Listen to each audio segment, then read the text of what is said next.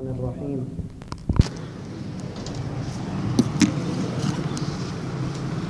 آخری اطلاعات کے مطابق لگ یہی رہا ہے کہ حکومت صبح عید کا اعلان کر دے گی۔ اگر بالفرض عید نہ ہوئی اور ہمیں کل کا روزہ رکھنا پڑا، تو جو گفتگو میں آج یہاں پر کرنا چاہتا ہوں، اسی کو کل کا ہی حصہ سمجھا جائے گا۔ اسلام ایک بڑا عظیم مذہب ہے۔ اس کے ماننے والوں کی تعداد چاہے تھوڑی ہی ہے، لیکن اسلام یہ سکھاتا ہے کہ آپ جب تک اس میں پورے کے پورے داخل نہیں ہو جاتے، تب تک آپ کی زندگی دنیا میں بھی ٹھیک نہیں رہ سکتی اور آخرت میں تو یہ ممکن ہی نہیں ہے کہ آپ کامیاب ہو سکیں۔ زیادہ لمبی چوڑی میں بات نہیں کروں گا، صرف ایک دو باتوں کی طرف توجہ دلانا مقصود ہے، جو میں نے پچھلے سال اسی دن رمضان کے، اسی دن فجر کی نماز کے بعد کچھ باتوں کی طرف توجہ دلائی تھی۔ اسلام ہمیں یہ سکھاتا ہے کہ ہم اس کے اندر پورے کے پورے داخل ہو جائیں۔ ادخلوا فی السلم کافہ دو چیزیں اگر انسان اپنے اندر ڈال لے تو کبھی بھی اللہ رب العزت کا وعدہ ہے کہ وہ گمراہ نہیں ہو سکتا۔ اسلام کے اندر پورے کے پورے داخل ہو جاؤ۔ ولا تتبعوا خطوات الشیطان شیطان کی پیروی نہیں کرنی۔ شیطان کے پیچھے نہیں چلنا۔ تم کامیاب ہو۔ شیطان اللہ رب العزت سے وعدے کر کے آیا ہے۔ سارا کچھ ہم سنتے ہیں کہ اس نے کیا کیا کہا۔ بدلے میں ہمیں کیا کیا حکم ہے۔ ان سب چیزوں کے باوجود کیا وجہ ہے کہ ہماری مساجد صرف رمضان میں بھری ہوئی نظر آتی ہے دکھ صرف مجھے مجھے نہیں ہے اس بات کا کہ مساجد صرف رمضان میں بھری نظر آتی ہیں، باقی گیارہ مہینوں میں دو صفحے تین صفحے زیادہ سے زیادہ پانچ صفحے اس سے آگے بات جاتی ہی نہیں ہے۔ دکھ اس بات کا ہے کہ ہم لوگ خود غرض ہو چکے ہیں، مفاد پرست ہو چکے ہیں۔ ہم فضیلتوں کو لینے والے بن چکے ہیں۔ ہم یہ سمجھتے ہیں کہ رمضان کے متعلق جو حدیث ہے، عمل ایک بندہ کرے گا، اس کا ثواب ستر کے برابر ہوگا۔ فرضوں کا ثواب اللہ رب العزت ستر کے برابر کرتے ہیں۔ نفلوں کا ثواب فرضوں کے برابر ہو جاتا ہے۔ ہم یہ سمجھتے ہیں کہ ایسا صرف رمضان میں ہوتا ہے۔ غلط بات ہے۔ ایسا پورے سال میں ہو سکتا ہے۔ اگر ہم اپنے آپ کو اسلام کے اوپر عمل کرنے والا بنا۔ کیسے؟ رسول اللہ صلی اللہ علیہ وسلم کی حدیث ہے، ان اللہ قطب الحسنات والسیئات اللہ رب العزت نے تمام نیکیاں بھی لکھ دی ہیں۔ اللہ نے تمام برائیاں بھی لکھ دی ہیں۔ جو بندہ نیکی کا ارادہ کرتا ہے، لیکن نیکی کرتا نہیں ہے، اللہ رب العزت اس کے لیے ایک نیکی لکھ اور جو شخص نیکی کا ارادہ کر لینے کے بعد نیکی کر لیتا ہے اللہ رب العزت اس کے لیے دس نیکیاں لکھتے ہیں۔ دس لکھنے کے بعد اللہ رب العزت حکم دیتے ہیں کہ ان نیکیوں کو ستر کر دیا جائے۔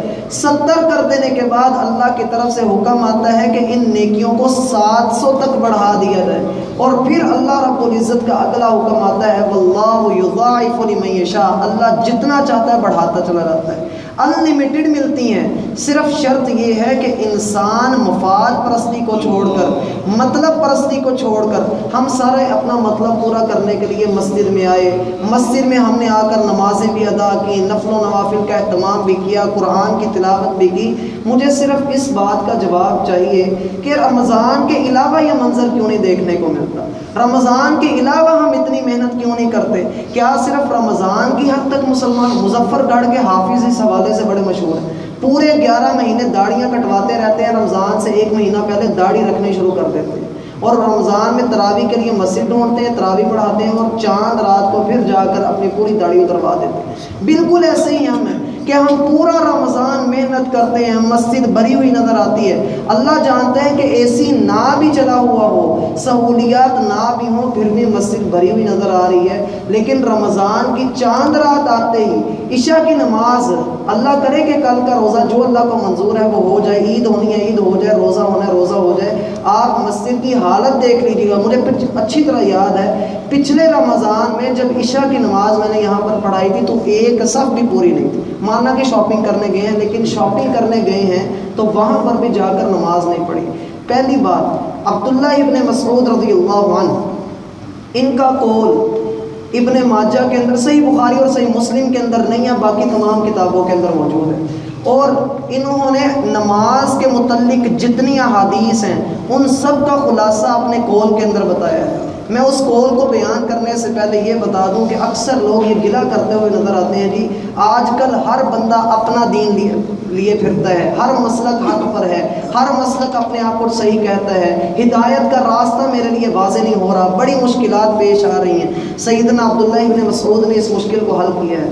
کہا، من اللہ عز و جل غدم مسلمہ تم میں سے جو بندہ یہ پسند کرتا ہے کہ کل قیامت کے دن وہ اللہ رب العزت سے مسلمان بن کر ملاقات کرے، اسلام کی حالت میں ملاقات کرے، فَلْيُحَافِظْ عَلَىٰ هَؤُلَاءِ الصَّلَوَاتِ الْخَمْسِ، وہ ان پانچ نمازوں کی حفاظت کر لے، کل قیامت کے دن اللہ اسے قبر سے اٹھائیں گے تو مسلمان بننے کی حالت میں اٹھائیں گے۔ اور جو شخص نہیں پڑھتا نماز نماز میں ڈنڈیاں مارتا ہے، خود سوچیں کہ عبداللہ ابن مسعود کا پھر مطلب کیا بنتا ہے؟ کہ اللہ اس کو اسلام کی حالت میں نہیں اٹھائیں گے۔ خاشعتن ابصارهم ترهق يوم يكشف عن ساق ويدعون الى السجود فلا يستطيعون. قیامت والے دن جب اللہ رب العزت اپنی پنڈلی سے کپڑا اٹھائیں گے تو سارے مومن سجدے میں گر پڑیں گے. لیکن سوائے ان لوگوں کے جو دنیا میں نماز نہیں پڑھتے رہے، ڈنڈیاں مارتے رہے، وہ سجدہ نہیں کر سکیں گے. اللہ فرماتے ہیں، تمہیں دنیا میں بلایا جاتا رہا، لیکن تم نہیں آئے۔ حدیث بخاری شریف کی ہے۔ قیامت والے دن جب اللہ رب العزت اپنی پنڈلی سے کپڑا ہٹائیں گے، ہر مومن سجدے میں گر پڑے گا۔ سوائے اس بندے کے جو سجدہ نہیں کرتا رہا ہوگا، نماز نہیں پڑھتا رہا ہوگا، اللہ رب العزت اس کی کمر کو تختے کا بنا دیں گے، وہ ویسے ہی اکڑا کھڑا رہا ہوگا۔ کوشش کرے گا، لیکن نیچے نہیں جا سکے گا۔ میرے بھائی، ہمیں اپنی حالت دیکھنی ہے۔ اگر رمضان میں اتنا رش ہم مسجد میں لگا رہے ہیں، تو رمضان کے علاوہ بھی ہمیں کوشش کرنی ہے کہ چاہے ہم نماز جماعت کے ساتھ پڑھنے نہیں آ پا رہے، کم از کم اتنا ہونا چاہیے کہ نماز ہم مسجد میں آ کر ادا کریں۔ ہمارے استاد ہیں، وہ یہ کہتے ہیں کہ مرد کی نماز جو بالغ ہو چکا ہے، اس کی نماز گھر میں ہوتی نہیں۔ جو بندہ بالغ ہے، اس کی نماز گھر میں ہوتی نہیں ہے۔ اگر رہ گئی ہے، جماعت سے نہیں پڑھ سکا، ٹائم نکل چکا ہے، وہ آ کر نماز پڑھ لے۔ اور پھر سیدنا عبداللہ ابن مسعود نے آگے بیان کیا کہ اگر تم نے یہ چاہتے ہو، اگر تم یہ چاہتے ہو کہ تمہارے لیے ہدایت کا راستہ واضح کیا جائے، تو وہ بندہ بھی پانچوں نمازوں کی حفاظت کرے۔ اگر تم نے اس نماز کو گھر میں پڑھنا شروع کر دیا والو تم فی کم اور اگر تم نے نماز اپنے گھروں میں پڑھنا شروع کی لطرف تم سنت نبی تم اپنے نبی کی سنت کو چھوڑ بیٹھو۔ تم اپنے نبی کی سنت کو چھوڑ بیٹھو گے اگر نماز گھر میں پڑھنا شروع کی۔ بالفرض، ایک چھوٹی سی بات، میں کہتا ہوں کہ عبداللہ ابن مسعود نے بات غلط کی ہے۔ بات غلط ہے ان کی کہ گھر میں نماز پڑھی تو نبی کی سنت کو چھوڑ دی۔ ایک منٹ کے لیے ہم کہتے ہیں کہ یہ بات غلط ہے۔ اللہ کی قسم، ہماری نماز چھوٹ جائے، ہم وہ گھر میں بھی ادا نہیں کرتے۔ ہم گھر میں بھی ہم کہتے ہیں اچھا نکل گئی، بس ٹھیک ہے، کوئی بات نہیں، اللہ بڑا غفور رحیم اللہ نے معاف کر ہی دینا۔ یاد رکھیں، جو نماز جان بوجھ کر بندے نے چھوڑ دی، اس کی معافی کوئی نہیں ہے۔ سوائے ایک راستے کہ وہ نماز ادا کرے اور اس کے بعد اللہ سے معافی مانگے کہ اللہ آئندہ سے ایسی حرکت نہیں کروں گا۔ ہم اللہ رب العزت سے یہ دعا کرتے ہیں کہ اللہ ہمیں با جماعت نماز پڑھنے کی توفیق عطا فرما اور اگر نہیں پڑھی گئی، کسی وجہ سے رہ گئی ہے تو میرے محترم بھائی، اس کو گھر میں ادا کرنے کی کوشش کر لو۔ اور اگر اللہ توفیق دیتا ہے تو مسجد میں آ کر اس کو ادا کر لو۔ پھر آگے فرماتے ہیں، ولو ترک تم سنت نبی اور جب تم اپنے نبی کی سنت کو چھوڑ بیٹھو گے تو ہدایت کے راستے کو چھوڑ کر گمراہی کے راستے پر چل پڑو گے یہ تمام حادیث کا خلاصہ جو نماز کی اہمیت کو واضح کرتی ہیں ان کا خلاصہ ہے۔ اگر تم نے اپنے گھروں میں نماز پڑھنا شروع کر دی تو تم گمراہی کے راستے پر چل پڑو گے۔ اور جب تم گمراہی کے راستے پر چلو گے لکفر تم ایک دوسرے پر کفر کے فتوے لگاؤ۔ ایسا ہوتا ہے کہ نہیں ہوتا؟ ہوتا ہے کہ نہیں ہوتا؟ ہم ایک دوسرے کو کہتے تو کافر ہے۔ ایک کہنے والے نے کیا خوبصورت بات کہی، کہتا دنیا کے سب سے بڑے میدان میں مسلمانوں کو جمع کرو اور سب کو کہو کہ ایک دوسرے کو دوسرے کو کافر کہنا شروع کر دو۔ کہتا اس میدان میں ایک بندہ بھی باقی نہیں رہے۔ ایک بندہ بھی ہم میں سے ہر بندہ دوسرے کی نظر میں کافر ہے۔ صرف ایک پکا مسلمان ہوں تو میں خود ہوں باقی سارے کافر ہیں۔ اس چیز سے بچنے کی کوشش کریں۔ اور یہ کوشش کریں کہ جیسے ہم رمضان میں محنت کر رہے ہیں ایسے ہی ہم رمضان کے بعد بھی محنت کریں۔ دوسرا جو کام کرنے کا ہے ہم قرآن کے ساتھ ہمارا تعلق بڑا گہرا رہا ہے۔ کوشش کیجیے کہ روز کی ایک آیت اس کو سمجھنے کی کوشش کریں۔ روز کی ایک آیت پڑھنے کی کوشش کریں۔ تو کون کون وعدہ کرتا ہے کہ وہ با جماعت پانچوں نمازیں ادا کریں انشاءاللہ اللہ ہم سب کو توفیق عطا کرے اور دوسرا، ترجمے کی کلاس ادھر ویسے چلتی ہے، فجر کے بعد، عشاء کے بعد کر عشاء کے بعد کر لیتے ہیں، فجر عشاء کے بعد قرآن کی کلاس ہوتی ہے، ترجمے کی۔ اور فجر کے بعد کسی کسی دن، روز نہیں، فجر کے بعد کسی کسی دن حدیث کا درس ہوتا ہے، ریاض الصالحین کا۔ روز ویسے کلاس ہوتی ہے ترجمے کی عشاء کی نماز کے فوراً بعد۔ اگر آپ اس میں نہیں شرکت کرنا چاہتے میں ہماری طرف سے تو پوری دعوت ہے کہ آپ آئیں۔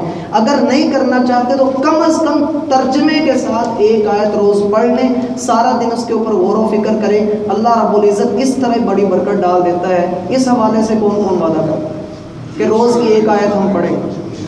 انشاءاللہ اللہ رب العزت ہم سب کو اس کی توفیق عطا فرمائے اور جتنے ہم نے اعمال کیے ہیں، اللہ ان کو قبول و منظور فرمائے اور اسی طرح ہمیں دین اسلام پر عمل کرنے کی، مساجد کو آباد کرنے کی توفیق عطا فرمائے۔ میرے محترم بھائی، صرف مفاد پرست مسلمان نہیں بننا، بلکہ پورا دن، پوری زندگی ایسے گزاریں جیسے رمضان ہے، جیسے ہماری بھائیوں نے اعتکاف کیا، ہماری بہنوں نے اعتکاف کیا۔ یہ عارف صاحب اس دن بتا رہے تھے کہ ہمیں محسوس ہی نہیں ہوتا کہ باہر موسم کیسا چل رہا ہے۔ باہر کے حالات کیسے چل رہے ہیں؟ بالکل ایسے ہی جب آپ یہاں سے باہر نکلیں تو اس طرح دنیا سے بیگانے ہو جائیں کہ پتہ ہی نہیں ہے دنیا کیا کر رہی میں ہوں اور میرا رب ہے، میں نے بدیانتی نہیں کرنی، میں نے غیبت نہیں کرنی، چگلی نہیں کرنی، وعدہ خلافی نہیں کرنی، دوسرے کو دھوکہ نہیں دینا۔ پھر پتہ لگے گا کہ رمضان میرے اوپر اثر کر کے گیا ہے۔ اگر پھر بھی میں ویسے کا ویسے رہا تو میرے بھائی، رمضان کے آنے کا فائدہ کیا ہوگا؟ رمضان نے میرے اوپر اثر کیا چھوڑا؟ اللہ ہم سب کو اس کی توفیق عطا فرمائے۔ رمضان کو حاصل کرنے کی توفیق عطا فرمائے۔ دعا کرتے ہیں اللہ رب العزت ہمارے اعمال کو قبول و منظور الحمد لله حمدا كثيرا طيبا مباركا فيه مباركا عليه كما يحب ربنا ويرضى يا رب لك الحمد كما ينبغي لجلال وجهك وعظيم سلطانك اللهم إنا نسألك بأننا نشهد أنك أنت الله لا إله إلا أنت الأحد الصمد الذي لم يلد ولم يولد ولم يكن له كفوا أحد. لا إله إلا أنت، سبحانك إنا كنا من الظالمين. اللهم صل وبارك على محمد وأزواجه وذريته كما صليت وباركت على آل إبراهيم انك حمید مجید اے اللہ، ہم اپنے گناہوں کا اقرار کرتے ہیں۔ اے اللہ تو ہمارے گناہوں کو معاف فرما۔ اے اللہ تیری نعمتیں بڑی زیادہ ہیں لیکن ہم خطا کار ہیں سیاہ کار ہیں۔ اے اللہ تیری رحمت بڑی وسیع ہے ہمارے نیک اعمال کو قبول فرما۔ لے اے اللہ ہماری محنتوں کو قبول فرما۔ لے اے اللہ ہم نے کیا کچھ نہیں ہے صرف مساجد کو آباد کیا ہے۔ اللہ تو اسی کی لاج رکھ لے۔ اے اللہ ہمارے اعمال کو قبول مت فرما لے اے اللہ، رمضان کے بعد بھی ہمیں اس سے زیادہ محنت کرنے کی توفیق عطا فرما۔ گناہوں سے بچنے کی توفیق عطا فرما۔ اے اللہ، یہ مبارک ساعتیں ہم سے جدا ہو رہی ہیں۔ اے اللہ، ہم کچھ نہیں کر سکے، مگر تیری رحمت ابھی بھی بڑی وسیع ہے۔ اے اللہ تو ہمیں ابھی بھی ان لوگوں میں شامل فرما جنہیں تو رمضان میں جہنم سے آزاد کرتا ہے۔ اے اللہ ہماری توبہ کو قبول فرما۔ اے اللہ ہماری توبہ کو قبول فرما۔ اے اللہ ہمارے نیک اعمال کو قبول فرما۔ اے اللہ ہمارے خطاؤں سے درگزر فرما۔ ہمارے والدین کو صحت کاملہ عاجلہ عطا فرما۔ جو بیمار ہیں ان کو شفاء کاملہ عاجلہ عطا فرما۔ ان کی بیماری کو ان کے لیے اجر کا باعث بنا۔ جو تنگ دست ہیں ان کی تنگ دستیوں کو دور فرما۔ جن کو مالی پریشانی ہے اللہ ان کی مالی مشکلات کو دور فرما۔ جو محتاج ہیں، اللہ تو ان کا والی بن جا۔ اے اللہ، کوئی ایسا گناہ نہ چھوڑ جسے تو بخش نہ دے۔ کوئی ایسا مریض نہ چھوڑ جسے تو شفا نہ دے۔ کوئی ایسا ایسا قیدی نہ چھوڑ جسے تو آزاد نہ کر دے۔ اے اللہ، کوئی ایسا گمراہ نہ چھوڑ جسے تو ہدایت نہ دے دے۔ اے اللہ، کوئی ایسا یتیم نہ چھوڑ جس کا تو وارث نہ بن جائے۔ اے اللہ، ہماری مدد فرما۔ ہمارے مسلمان بھائیوں کی مدد فرما۔ اے اللہ، ہمارے پاکستان کی مدد فرما۔ اے اللہ، اس ملک کی حفاظت فرما۔ اے اللہ، ہمیں اچھے اور نیک حکمران عطا فرما۔ اے اللہ، ہمیں نیک بنا دے۔ ہمیں ایسا بنا دے کہ ہم تجھے پسند آ جائیں۔ اے اللہ ہماری مشکلات کو دور فرما دے۔ اے اللہ تمام مسلمانوں کی مدد فرما۔ جو لوگ فوت ہو چکے ہیں اللہ ان کی قبروں کو نور سے منور فرما۔ حاجی خالد صاحب کی قبر کو نور سے منور فرما۔ اے اللہ ان کی مغفرت فرما۔ اے اللہ وہ ہمارے بڑے اچھے ساتھی تھے۔ اے اللہ انہوں نے کبھی کسی کا دل نہیں دکھایا تھا۔ اے اللہ ان کی مغفرت فرما۔ اے اللہ ہمارے جتنے رشتہ دار اور ہمارے بھائیوں کے جتنے رشتہ دار فوت ہو چکے ہیں، یا اللہ ان کی قبروں کو نور سے منور فرما دے۔ اے اللہ ان کو اعلیٰ علیین میں مقام عطا فرما۔ ہمیں قبر کے عذاب سے محفوظ فرما۔ اے اللہ ہم ہر اس چیز کا سوال کرتے ہیں جس کا سوال رسول اللہ صلی اللہ علیہ وسلم نے تجھ سے کیا۔ اے اللہ ہر اس چیز سے تیری پناہ چاہتے ہیں جس کی پناہ رسول اللہ صلی اللہ علیہ وسلم نے تجھ سے مانگی ہے۔ اے اللہ، ہماری مغفرت فرما دے۔ اے اللہ، ہمارے بڑوں کی مغفرت فرما دے۔ اے اللہ، ہمارے بڑوں کو ہدایت دے دے۔ اے اللہ، ہمیں بھی ہدایت دے دے۔ ہمیں ان لوگوں میں شامل فرما جنہیں تو دین کی سمجھ عطا کرتا ہے۔ اے اللہ، ہماری مشکلات کو دور فرما دے۔ ہمارے روزوں کو قبول فرما۔ راتوں کا قیام قبول فرما لے، ہمارے رکوع اور سجدے قبول کر لے۔ اے اللہ، اگر تو نے قبول کیا تو یہ عبادتیں ان کے کرنے کا کوئی فائدہ نہیں ہے۔ اے اللہ، ہماری ان عبادات کو قبول فرما۔ ہمیں تقوی نصیب فرما دے۔ گناہوں سے بچنے کی توفیق عطا فرما۔ اے اللہ، قیامت و دن اللہ کے رسول کے ہاتھوں حوضے کو سر کا جام پینا نصیب فرما۔ اے اللہ، ان کی شفاعت نصیب فرما۔ اے اللہ، ان کے چہرے جیسا چہرہ بنانے کی توفیق عطا فرما۔ اے اللہ، ان جیسی گفتار بنانے کی توفیق عطا فرما۔ ان جیسا کردار عطا فرما۔ دے اے اللہ